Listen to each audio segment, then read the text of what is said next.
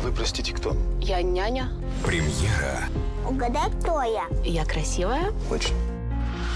Варька! Варь! Ей необходима пересадка костного мозга. на что она готова Я могу быть донором. ради ребенка. Господи, ты здесь при чем?